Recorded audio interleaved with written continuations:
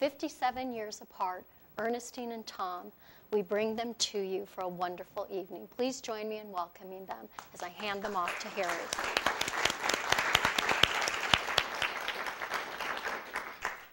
Uh, thank you so much, Kim, and it's a pleasure to be here, and it's a pleasure to be with Tom and Ernestine. I, have got to say, and it's an unmitigated plug, this is a great read. So, um, and uh, it's wonderful to see that these two people, one thing you get from the book is that they are incredible and incredibly invested in the sense of civic work, and that's what we'll talk about with them. The sense of their passion of commitment to doing something in the interest of the public good, and even as there's this divide in terms of age and divide in terms of experience, you'll see there's a unity in terms of vision around these ideas and why it's important now more than ever to think about notions of civic work. So let's start at the beginning, you two, and, and talk about how did this happen? How did this book come to be, and what was the genesis of it? Well, I can start that. Uh, I have worked um, over the course of uh, my years uh, in the federal government for now five different presidents in the State Department and Foreign Aid and Legal Services. Um, and I wanted to write a book uh, about why I thought and how uh, people of all ages, but particularly young people, could be involved in public service. And uh, when I talked to a publisher, uh, she said, um, Well, you're 79 years old, actually. I was 76 back then, but still. Uh, and if you really want to appeal to young people, you need a youth voice. And uh, that sounds so obvious that how could I not think of that? But in fact, I hadn't. And so I. Um, asked a, a bit around and um, came to um, the smartest connector I know, Kim Meredith, and said, uh, Kim, what am I going to do? And she said, I know just what you're going to do. You're going to go and talk with Ernestine Fu, who's a Stanford undergraduate because uh, she would be the perfect match as a co author for you. And I said, okay. And um, I got Ernestine's uh, resume, which um, uh, was not quite as thick as this book, but it was close. and I turned back to uh, Kim and said, This is ridiculous. She can't possibly do this. She's been doing so many things so often she can't sleep, and you're asking the, her to consider doing one more thing? And Kim said, Trust me. And I do, and I did. And Ernestine and I uh, sat down, talked, and um, uh, we started working together, and that was three plus years ago, and it's uh, been a wonderful partnership ever since. Ernestine, you want to add? Yeah, so coming to Stanford, I knew I wanted to study in the engineering school, and I had no interest in doing research in the humanities school, but I did know that I wanted to continue my public service involvement, which began in middle school and high school.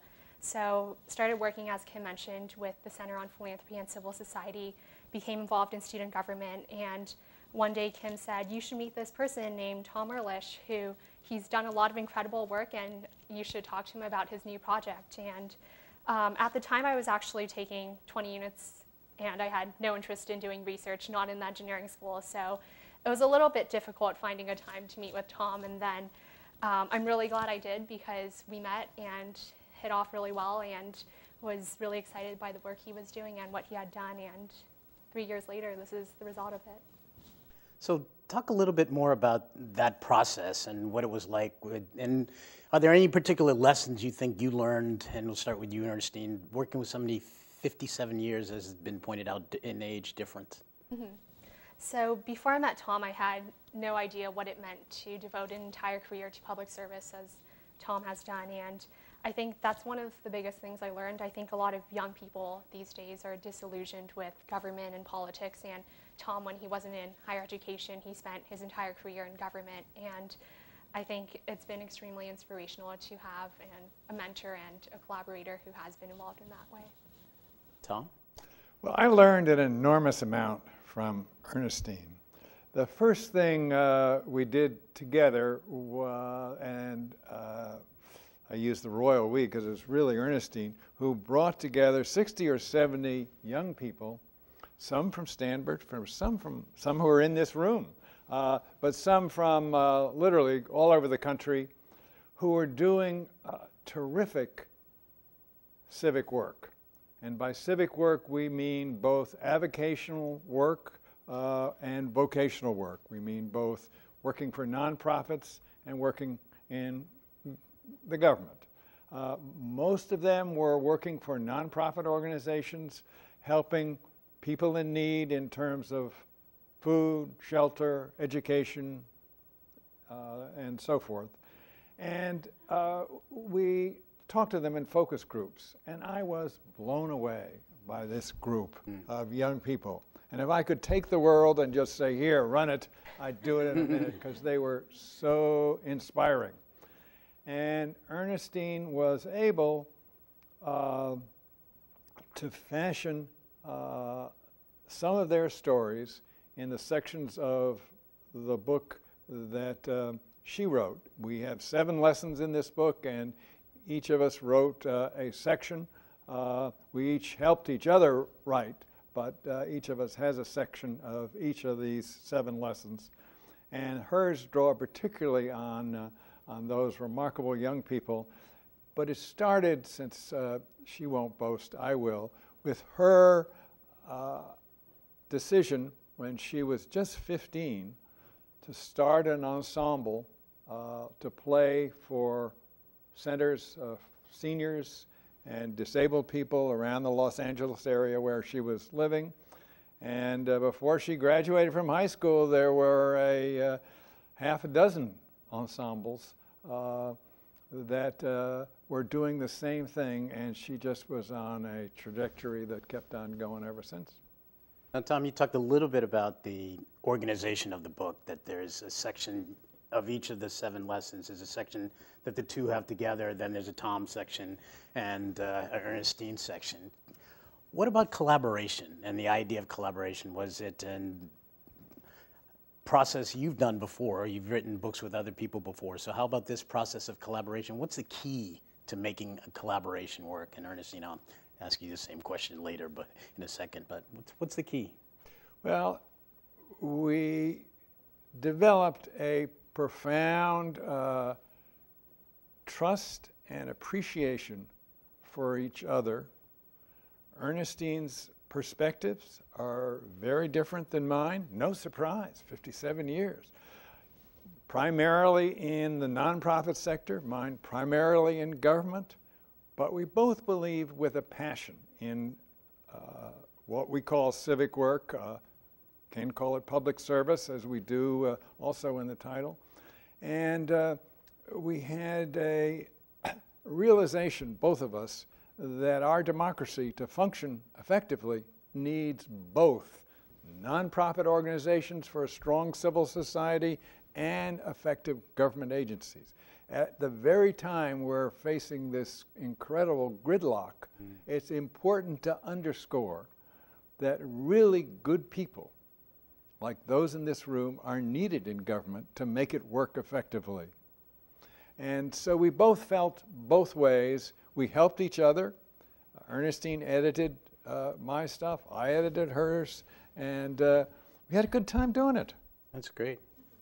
I think it was definitely a very collaborative process. Um, so Tom has written over a dozen books already before this one, and this is my first one, and I could not have wished for a better first co-author. And I think one thing that, just to demonstrate the collaborative process, there's a building here called Old Union at Stanford where all the different student government groups regularly hold meetings and usually you don't see anyone over the age of 30 there except um, maybe a few administrators, but I've only um, been there once. You've been there once. Okay, so Vice Provost of Undergrad Education has been there once. Um, so Tom has been there a couple of times because we decided to hold focus group interviews with a group of young students there. And um, we were just in a room and there were sofas and Tom was sitting there and there were clear glass walls and when other students were walking by, they always did a double take because they were wondering why someone um, Tom's age, a professor, was there, and I think he was very collaborative in that process, just to show one example. I mentioned working for all the presidents that he worked for. Your background's it's it's amazing, um, and uh, the service. But what drove you to do this? Why? What's the passion? There are a number of factors, but I am absolutely convinced that mentors and teachers are key. One of our seven lessons is just that. That if you are fortunate, you will have some mentors, as both Ernestine and I have, and some teachers. Um, I can still feel the presence of uh, John W. Gardner here, uh, who cared so deeply about uh, the kind of public service that uh, we talk about, who is a mentor uh, uh, for me. Um, and um, over the course of the years, uh, I've had a lot of wonderful ones, uh, none better than my wife of 56 years, who's sitting right here, Ellen, uh, who has um, taught me a lot about uh, public service, about civic work uh, in different ways, and uh, as we have grown on together. So I would put that at the very top of the list. Terms of the, the foreword, and uh, this is a, a, written by Bill Drayton, president of the Ashoka Innovators for the Public, and he asserts that, quote, everyone in, this generation of children and young people must master the complex underlying skills required for change making and know they are change makers before they turn 21.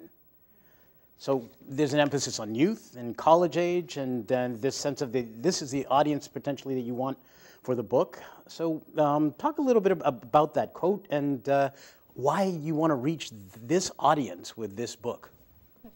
I think um, Bill Drayton's is exactly right in terms of you want young people to start creating change, start giving back to their communities at a very early age. I think when you start doing so at an early age, it becomes almost like a habit, a part of your identity, and um, it could be very simple, such as just volunteering somewhere once a week, and then I think um, it's hard to change the behavior of someone who's older on and not engaged in public service early on, although it is possible. Mm-hmm. Tom?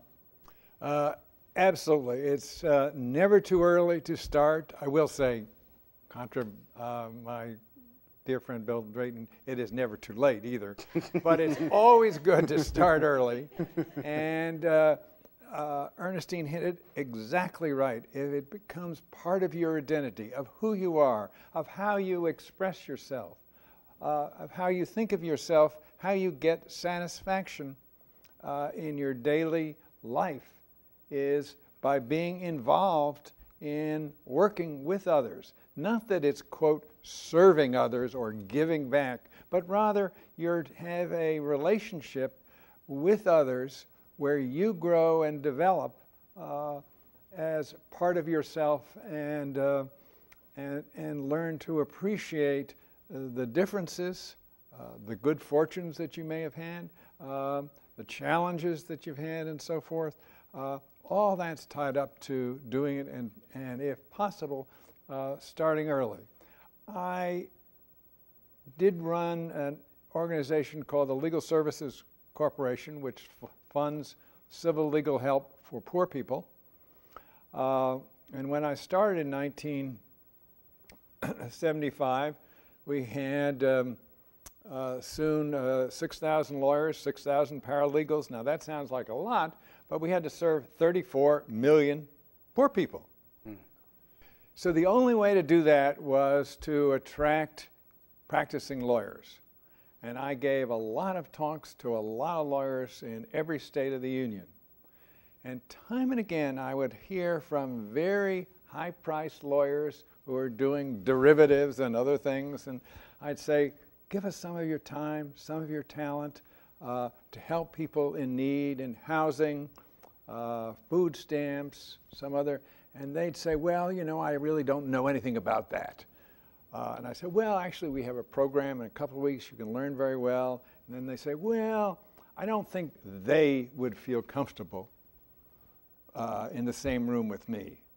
Well, I'm a little slow, but it didn't take too long before I was understood what they were really saying was, I won't feel comfortable going in a room with a lot of poor people, particularly if their skin colors are different than mine. And I, that was an epiphany for me because it made me understand that we really have an obligation in schools and colleges to help our students engage in doing service the way the Haas Center does, the way Greg Werkheiser is here. He started a wonderful new center that Ernestine's on the board of to bring civic engagement uh, around the, the country. Uh, and uh, um, Elaine Ikeda uh, and Campus Compact, those organizations are all involved in helping young people learn uh, uh, before they become those tired old men that I just described. I want to pick up a little bit on that. You mentioned Campus Compact and the Haas Center, these organizations. Where do you think we are in higher ed right now in terms of this mission that you suggested, that uh, getting young people to think about civic engagement? When uh, my colleagues and I wrote a book called Educating Citizens, what we found was there was explosion of interest in doing civic work that involved tutoring a kid, cleaning up a park, working in a community kitchen.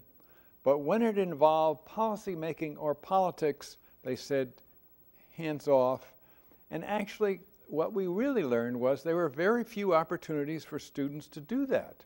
Ernestine, uh, looking at that, can you talk specifically about Stanford and your experience at Stanford and what has enabled you? I mean, one of the things that you talk about in, in the book is a variety of activists that you interacted with, like Michael Tubbs. Um, so, so what was the environment at Stanford that enabled you, and and uh, and what kind of environment or support did you find for your own efforts at Civil mm-hmm. War? Um, so, on the academic side of things, I myself took a number of community service learning courses I took one in which I was um, developing course syllabus and a course syllabus and also tutoring students in East Palo Alto. Um, another one I took was um, focused on helping um, people who couldn't walk uh, and visiting senior centers um, based on that. So there are definitely a number of great community service learning courses. And I think what's also really key is that um, the professors I spoke with, it wasn't just about doing a major and then pursuing a career that directly relates to your major. You see a lot of students do interdisciplinary work, mm-hmm. and um, that I think is very important just because if you look at, for example, just outside of Stanford, um, take for example college rankings and um, Tom and I wrote a piece, an online article for Forbes magazine looking at college rankings and how they don't directly reflect what a student's um, experiences are during college and after college. So they might focus, for example, on test scores, but not necessarily um, if you go into a public service career, which might have a lower pay than that of um, kind of a more prestigious career, and it doesn't take into account that. So I think there's a lot of external factors that may influence a student um, not to go into public service, but at Stanford itself, I think the community service learning courses, um, just teachers, and great centers like the PACS Center, the Haas Center, California Campus Compact, encouraging students to actually engage in public service and not just look at something that directly impacts their academic career.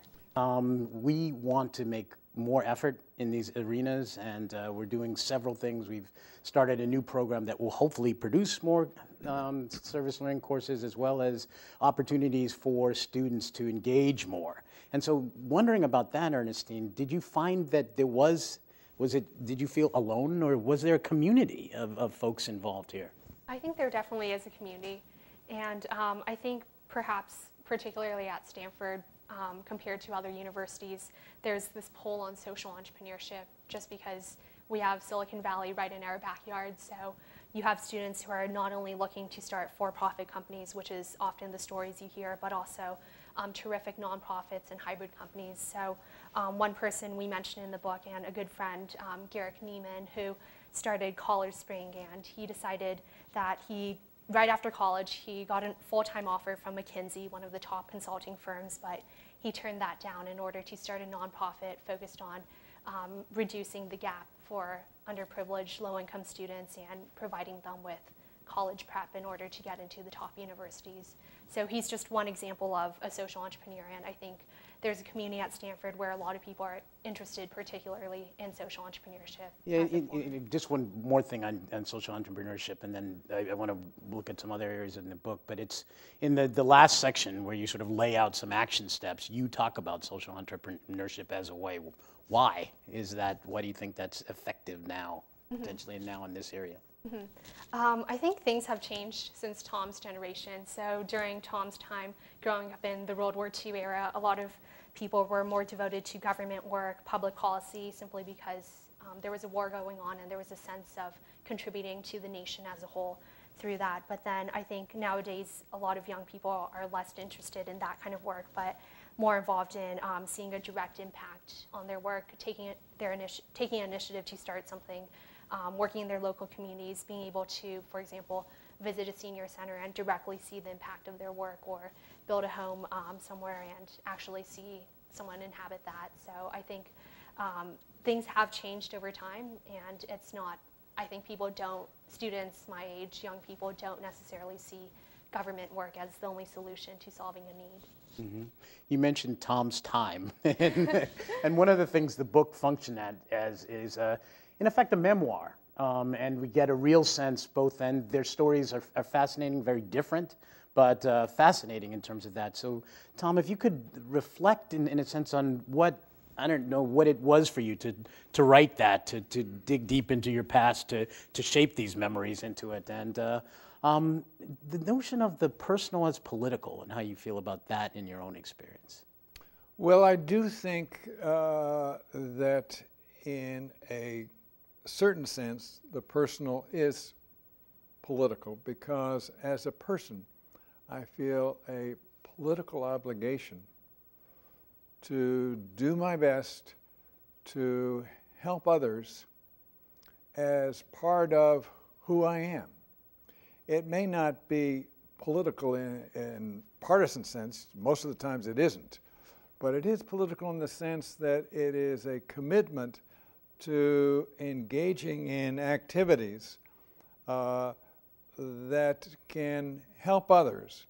And I am uh, firmly of the belief that while a lot of those can be done uh, by the wonderful nonprofit organizations of the kind that Ernestine has uh, herself created and that others uh, that we write about are created, uh, government has an enormously important set of roles on the local, on the state, on the national uh, level for people who are in need. And uh, uh,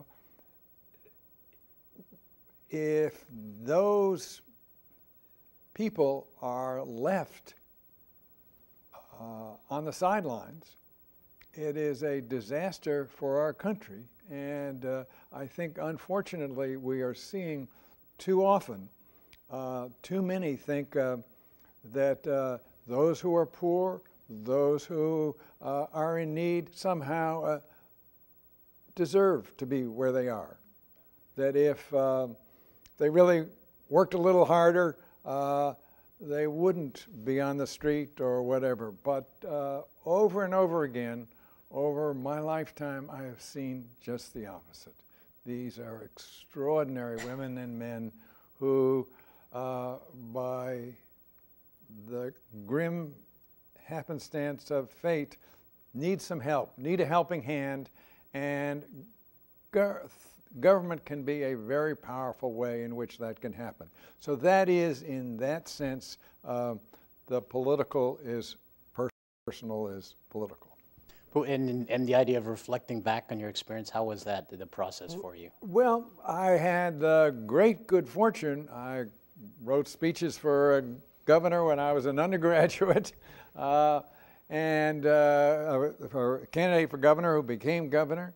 Um, so when I was dean of the law school, uh, as I was, um, I started to look out and say, what, where are our lawyers going and our lawyer, what, what is the needs of the legal system of five or 10 years from now? And that was when I first realized that uh, 34 million people, now 44, uh, don't have any access to legal services. And I said, uh, I've got to quit this job and go see if I can do something to help in that arena. And I was fortunate to be able uh, to do that. And similarly, when um, when I had the good fortune to be asked to, to run our foreign aid program for President Carter, I wanted to do that because I had the same sense that just as legal services are desperately needed for poor people, it's not just uh, to get a lawyer to do a little something here or there, it's between life and, and, and death uh, for so many poor people. Similarly, visiting third world countries abroad on behalf of our foreign aid program, I saw what a difference uh, small amounts of aid could make in helping uh, people uh, in, in, that um, uh, cliche sense um, learn how to fish, uh, to have clean water, to do all the things so that they could live fulfilled lives themselves. Thanks. Ernestine, the same question for you. What does it mean at this point to reflect on uh, your experience of life and to write, in effect, a memoir at this point or uh, about memories? Well, I obviously haven't had as nearly as many experiences as Tom has had, so it was a little bit easier for me reflecting on um, probably the past 22 years of my life and engaging in public service for probably the last 10 years. So definitely a lot easier. Um, but I think um, it was easy to reflect on it just because I think public service has become a part of my identity. As Tom spoke about, it has become a part of both of our identities. And mm. um, I think some of my best experiences in middle school and high school were when I was actually reaching out, um, visiting hospitals, senior centers. It wasn't when I was in the classroom and just memorizing history facts or um, writing another essay, which um, I learned a great deal during those classes, but I think it was just um, if I look back over the past few years, I think those specific public service, civic work experiences have left um, kind of a deep memory that I really remember. So. That's great.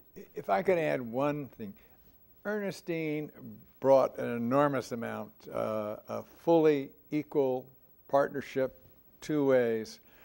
One of the things that uh, was so important our last chapter is about the uses of technology to promote mm-hmm. civic work. Mm-hmm. It won't surprise you who was the lead author in that. it wasn't Tom Ehrlich. I do email, do word processing, but Ernestine opened up to me the, the array of ways in which uh, social media and other emerging technologies really could harness and marshal advocacy, uh, youth advocacy, on behalf of, of uh, issues. Uh, we have a blog on Forbes.com. We have Huffington Post. All those things that uh, uh she tutored me in. Um, and uh, when I was a slow learner, she said, "That's all right. We'll do it." Uh, and we went ahead, and it's um, it's clear to me that. Um, the range of emerging technologies are going to have increasingly profound effects on the ways in which civic work is done mm-hmm. and how it's done effectively. And elections and government change, and yeah. Ernestine, talk a little bit more about that and, and yeah. why you think or what you've done in those arenas. Um, so Tom is now on Facebook and Google Plus, so you can all follow him on that. um, so I think. Do you tweet? He doesn't no. have a Twitter yet, but that's okay. I have a Twitter, so, and so does PACS. Um, so I think um, there's a lot still that needs to be done with leveraging technology and social media for civic work. I think um, we've seen in the last two presidential elections, um, President Obama might not have won if he didn't use and leverage mm-hmm. social media in both those campaigns. And um, we've started to see a large number of youth um, very active in social media when engaging in civic work. Um, so just to give an example, there's um, this project called the 100 Cheeks Challenge, and a student named Vineet Singal, who mm-hmm. um, ended up leading that, actually a Stanford student and a good friend of ours. And what he did was he was encouraging students and young people and um, old people and everyone to swab their cheeks and actually register um, in the bone marrow registry and prevent um, and help cure people with leukemia. And he was able to reach out to people not only in his local community, but also people all across the nation, all across the world, simply by using social media. I think that's one of the powers of using social media is you can reach people not just in your local community, but thousands of miles away. Mm-hmm. Another power is also the ability to actually visually see what that impact is. So I think um, beyond black and white text, you could actually use color, um, show images. And so when he was doing that, um, he actually used his Facebook page, took photos when people were swabbing their cheeks, and just seeing that visual effect of someone doing um, something as simple as swabbing your cheek and registering for um, the bone marrow registry, um, that whole visual effect of social media. And I think in general, also just being able to start something off the ground. You could easily start your cause on a Facebook page, on a Twitter page, and um, you no longer have to um, go through an elaborate, complicated process to just get your volunteering started off. So. Yeah, no, and Vineet's a great example, um, uh, particularly looking at bone marrow in South Asian communities and the kind of outreach he did and the results that he got. I guess I'd, I'd be remiss, sort of, if not asking something about where we are now. Uh, as, uh, in, in, what is this, day four of, uh, of this mess that is Congress right now? Um,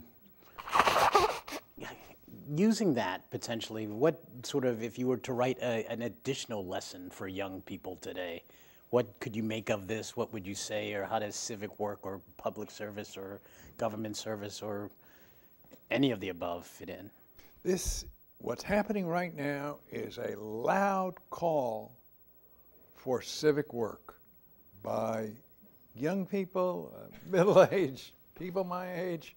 It is a wake up call that we can't let democracy just run on its own rails. We've got to get in there and be actively involved.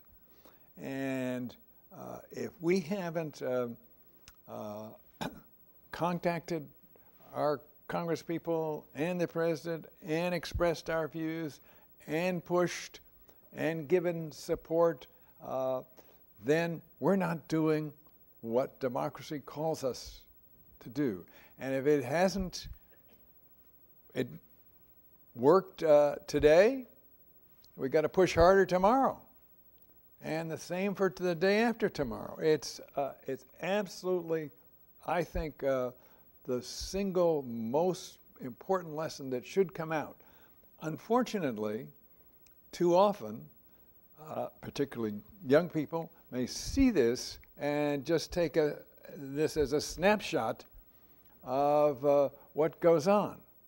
Having worked uh, in government and with literally thousands of absolutely dedicated women and men who have, give their lives in foreign aid or legal services uh, because they really believe, and it's going on uh, all over.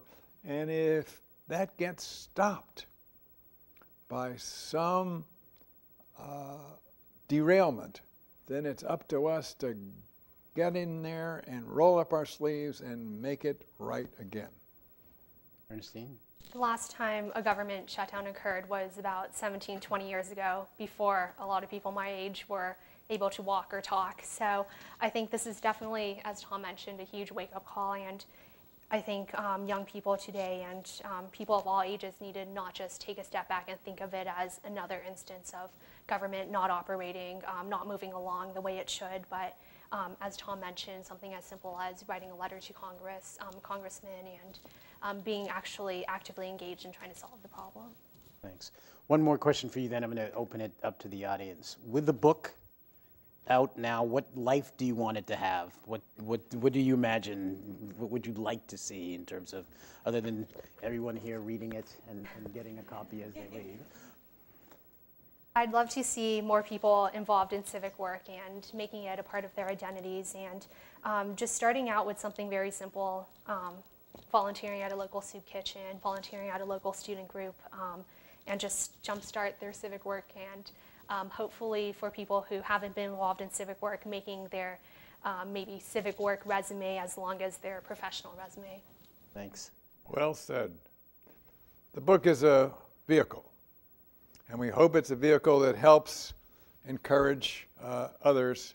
Um, and that's why we did it, and we had a wonderful time doing it, and we're going to keep right on uh, proselytizing as much as we can, as widely as we can. Uh, and fortunately, um, people really feel good when they do civic work. Not to say there aren't disappointments and failures, and God knows I've had a lot of them, but uh, this is the high road, is the right road, and so we're going to keep on doing it. Uh, I hope I have a lot of years to to be able to do that. I hope so too.